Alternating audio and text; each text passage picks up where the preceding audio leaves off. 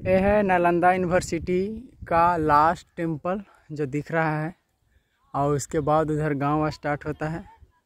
और इस प्रकार से देखिए, इधर कितना रास्ता है, यहाँ पे पता ना क्या जो ये बना हुआ है, नाली जैसा। और ये देखिए, कितना भव लगता होगा जब ये अपना पूरा एकदम, पूरा फुली कंडीशन सही कंडीशन में होता होगा तो। देख सकते हैं। बहुत अमेजिंग है।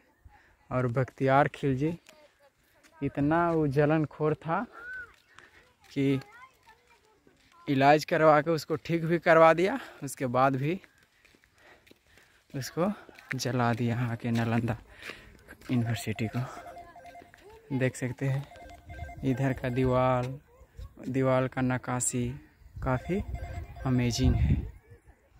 और उधर वो सब जो देख रहे हैं, वो सब सब बहुत बड़ा बड़ा चैम्बर है, जिसमें सिर्फ़ स्टूडेंट लोग का रहने का जगह था। और ये है मंदिर, जहाँ पे नज़दीकी में थोड़ा सा जाके दिखाते हैं। ये देखिए, इसके अंदर में कुछ रहता होगा, मूर्ति उर्ति होगा, जो कि अभी पूरा तहस नहस हो गया है, सब ख़त्म हो गया, कुछ भी नहीं है। बस ऐसे ही फ़िलहाल अभी बना दिया है। और ये देखिए, दीवार कितना सुंदर है। माता श्री यहाँ पे देख रही है, एकदम आँख फाड़ फाड़ के। जब से नालंदा खंडर में आए, तब से अफसोस किया जा रहा है।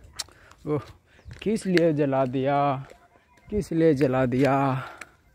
हम रहते तो नहीं जलाने देते। नहीं। हम्म, कितना आदमी मरा।